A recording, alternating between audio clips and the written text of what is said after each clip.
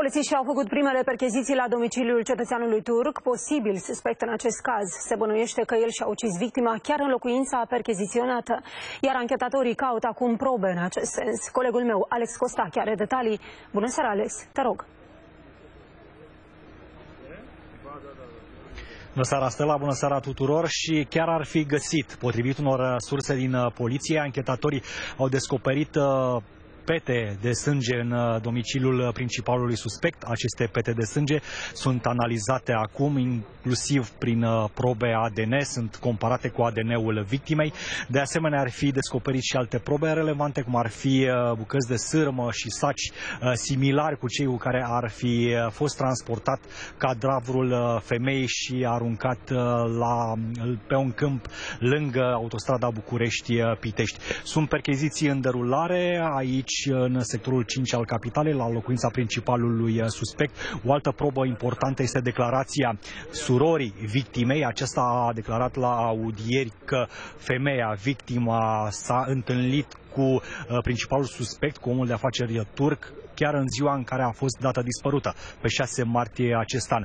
Este relevant, Stella, și ce spun oamenii de aici, vecinii, îl descriu pe omul de afaceri turc uh, ca pe un personaj uh, violent, uh, agresiv. Soția lui a murit în urmă cu câțiva ani și spun vecinii că omul de afaceri turc își făcuse un obicei să aducă aici, la domiciliul lui, în fiecare zi persoane de sex feminin. Este relevant în contextul în care, potrivit anchetatorilor, lor, femeia, victima, uh, ar fi practicat prostituția și mai spun anchetatorii, ar fi frecventat sălile de jocuri de noroc.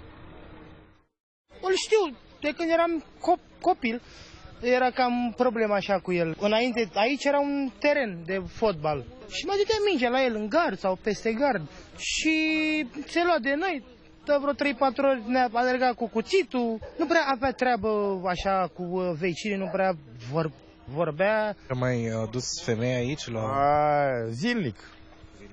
Zilnic aduce. La două, trei zile când le prinde pe centură, le ia, le aduce acasă și pleacă cu ele. L-ați sfătuit să recunoască în ipoteza în care el ar fi într-adevăr autorul pentru a-și ușura situația juridică? Uh, categoric, el ar trebui să fie sincer să colaboreze. Dacă a existat vreun indiciu penal sau uh, vreo faptă, el trebuie să fie cooperant cu organele de cercetare penală.